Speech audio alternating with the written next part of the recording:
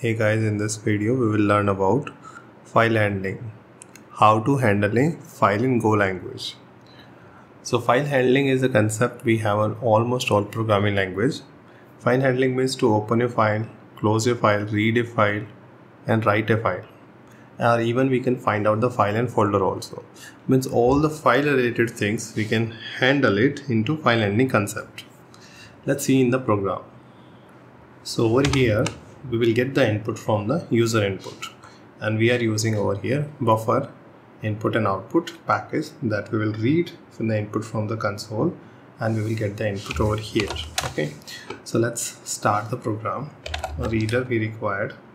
Yes this is required. This is the our package that we wanted to read the input and output from std in means console. So let's add the packages. So we are using two packages operating system console and new reader means read the input. Here we'll write down a message. Please enter text to write into file. So we want user will be give us to input okay? Whatever the text we will read it we will simply say whenever the new line will become whenever the terminate with the new line that text we want to read. So the benefit of the new reader is we can read multiple lines we can use the same thing through the fmt also. Fmt we have fmt.scan through the scan we can read and put the whatever the reader value in a variable. But the problem is over here we can read only only particular variables kind of small kind of thing. But here we can write down the very big big text over here. So that is the benefit of the using the buffer input and output. So whatever the input type we will get so we'll write down over here. The chances of that whatever the input we are reading it it could be the problem we got an error. Here we this is the blank identifier. Here we can write down error but we need to use the error. But if we write down the blank identifier we don't need to use it. We can directly use the what the input we will get it. So this is the input we are getting from the the console. Over here we need to write down the file name. Okay? So where we wanted to generate some output. So i'm just writing down output. Txt is the file. There we want to generate some output over here. Okay after that we wanted to read the file. Okay. To read and write the file i'm just making a separate function. So over here functions write file. Yes this is the name. And we wanted to okay suppose we wanted to generate an error over here also. Over here the file name and we should be give the what we wanted to be store. So i just simply say content. And content is the string. So that we wanted to write into the file over here we need to be use the input and output. Input and output over here we will use the operating system function. Operating system function is write file. Write file through which we can write down. We need to give the file name first and we need to give the content. Right now this is our content and we need to give us to one more file mode. File mode is allowed to us to permissions. Means the file we have we have multiple modes over here so we can give it 644 this is a means over here we are giving some permissions. If the file does not exist it will open it it will create the file it will append the file. Such kind of actually permission we are giving it over here. Any uh, the go is actually supported like unix or uh, unix or linux actually. There we have the three kind of permissions. The one is the read another one write another one execute the permissions. So we have all has some values. So these are the values. So if we have 4 means we are giving the read permission. 2 means write permission. 1 means executable permissions over here. So this is the 3 digit we need to give the permissions over here. Okay? And that value is 3 digit octal number. We need to give octal number over here. Suppose uh, I wanted to give it actually 644 so what it means by 644 means owner can read it. Read means actually it has a 2 plus 4 plus 2 so it has can be read it actually. Or what else exactly? Group can be read. Other can be read. Means see, first is the owner. Second is the group. Means user can be have the multiple group and it, this is the other. So these are the permissions. So in the go documentation you guys can read it also further about it. So this is the permissions over here. Similarly we have one more very famous one is 0755 this is also one more permissions. Means it has 4 2 plus 1 it has all the permissions and here we can give the other can what other can do? Other can just read and execute. They cannot be created. They cannot be uh, they, they cannot be write it okay? And another one is the uh, uh, we have the other and group. Uh, group and other we are just wanted to give the just write okay? Just actually we wanted to give read or execute.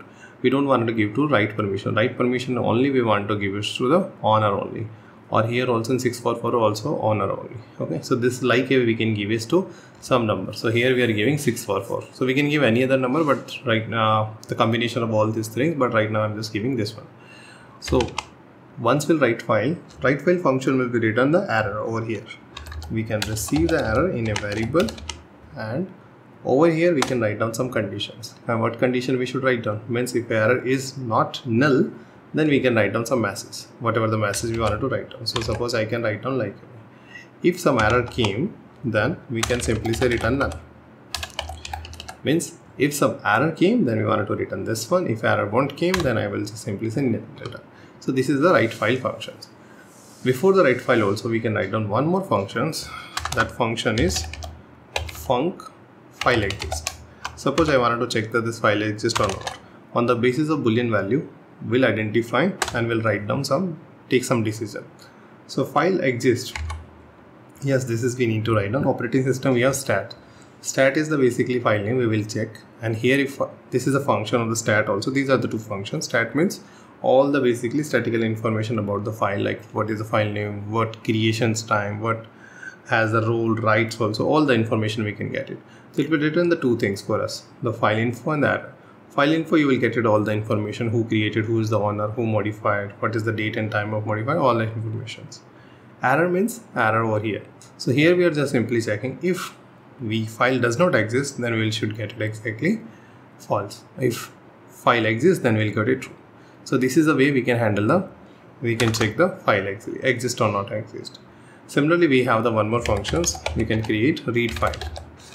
Read file read file is just simply we need to give the file name over here and just file name in the string and whatever the content it will read it. Okay the file name functions the read file functions can return the content and error also. Means possibly that whatever the file name we given it that could be wrong also. So this is the source code of it. Operating system will read the file. If the file name exists then supposed to find we will get a content we'll convert the content into string format okay because string that data is stored into byte format okay?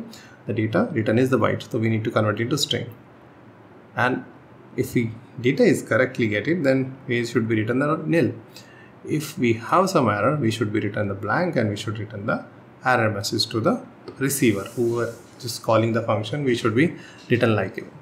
So these are the three functions. One is to write another one is to file exist or another one is to read the file how to call these functions we will call it over here. So this is the input we wanted to write into file. Suppose over here um, we wanted to give the file name not even the write down what we want to write down even though you want to give us to keep just give us to file name also. Okay over here suppose before writing down in the content of the file we wanted to check this file is exist or not. Even the file name we wanted to take the user also. File name input also we want to take from the user. So we'll just simply say fmt.println over here and say enter the? file. Okay. So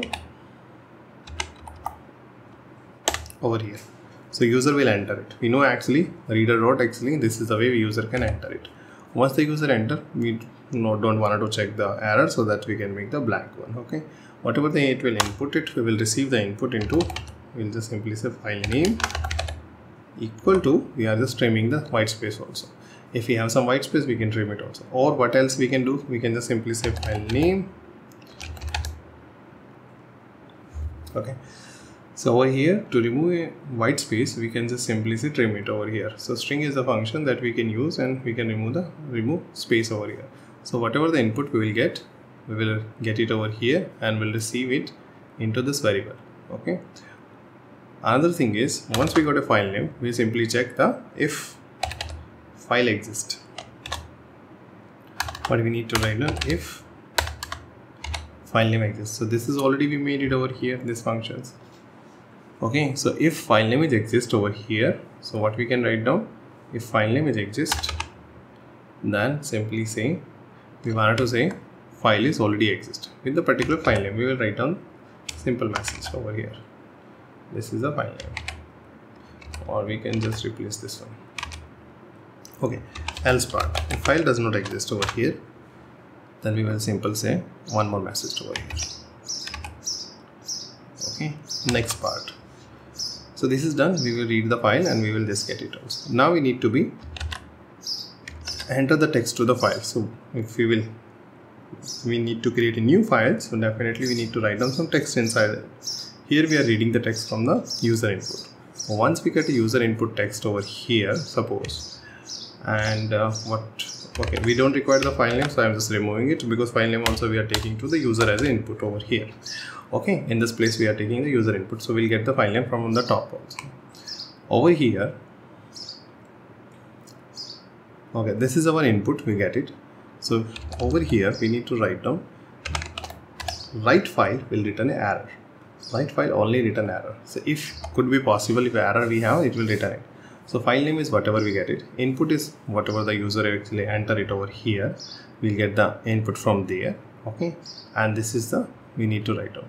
So reader is we are reading the read string and we'll read it also okay? Let's see why we are getting no left side of the compiler left input. Okay input already we take it so we'll just simply say input content. So we'll simply say input content. Here okay? Here we need to write down message if error is not nil then we'll write down the message and we'll terminate.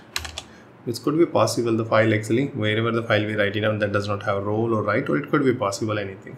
We're just simply writing down over here. So over here file is created successfully with this file. So means for write file means it can be created also if file does not exist then it will create it also. If file is has been created we can say file is means if or file has been created or file has been updated whatever it's okay so if it is already there then it will update. If it is not there then it will create it also. Over here. So now the next last thing is we need to read the file. To read the file we need to give the file name and it will give us to content. So we need to handle the error handling also. So over here we are just simply saying error reading the file. If we have some error we are just showing this message. If we got a content we are just directly displaying the content on the over here. So just simply saying content over here so this is our program. Over here we are just checking three things. Checking the file checking this file file exists or not. Over here writing the file we are writing the file. Write input to the file. Last thing is reading the file okay? Read data from the file. So this is the way we can handle the file handling. This is the way we can read write or file also. There is a lot of other function also we have in os like open the file close the file or even we can handle the folder also okay? Operating system uh, we have the file handling and folder handling also. But for basics need we require the file actually over here okay?